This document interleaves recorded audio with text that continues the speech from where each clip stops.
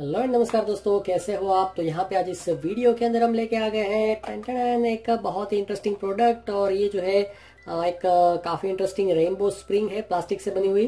तो ये जो है, ये भी एक बहुत ही पुराना खिलौना है। मतलब मैं जब छोटा था तब भी ये बचपन में आता था। उस टाइम पे ज़्यादातर जो है मेटल की स्प्रिंग जो है पॉपुलर हुआ करती थी और इसकी प्राइस जो है दोस्तों तीस रुपये है। और ये मेड इन चाइना है, अभी इंडिया में तो नहीं बनती है। तो इसको जो है मैं आपको खोल के दिखा देता हूँ, बहुत ही सिंपल है। ये तीस रुपए की है लोकल मार्केट में भी मिल जाएगा। तो अभी जो है ये प्लास्टिक का जो इसके रिंग्स है, वो थोड़े से हल्के हल्के चिपके हुए हैं। तो इसको जो है आपको एक बार जो है खोल लेना पड़ेगा, फिर ये काम करना शुरू हो जाएगा। हल्का हल्का इन लोगों ने कैसे चिपकाया होगा मुझे पता नहीं है बट आपको जो है इसको एक बार खोलना पड़ेगा। इस तरीके से ये स्प्रिंग जो है काम करना शुरू कर देगी।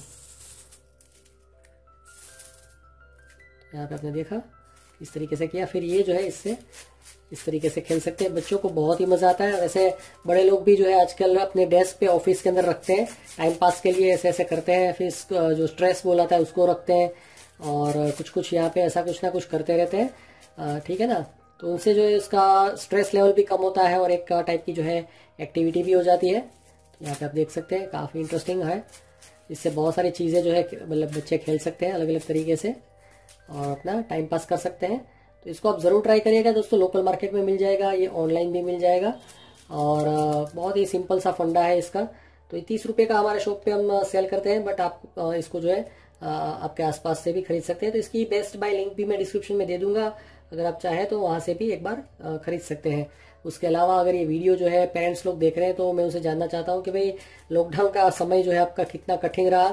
बच्चों ने कितना परेशान किया, कितने मतलब कितने रुपए के खिलौने जो है आपने लिए, ये सब चीज़ें जो है आप कमेंट सेक्शन में जो है बता सकते हैं दोस्तों। ठीक है ना? और उसके अलावा अगर आपने भी बचपन में ये वाली स्प्रिंग जो है उससे खेला है तो आपके अनुभव जो है कमेंट सेक्शन में, या तो आपकी यादें जो है कमेंट सेक्शन में शेयर करिएगा। तो आज के वीडियो में इतना ही। बहुत ही सिंपल सा एक अनबॉक्सिंग था। आई होप आपको ये इंटरेस्टिंग लगा होगा। So thank you goodbye enjoy your life have nice day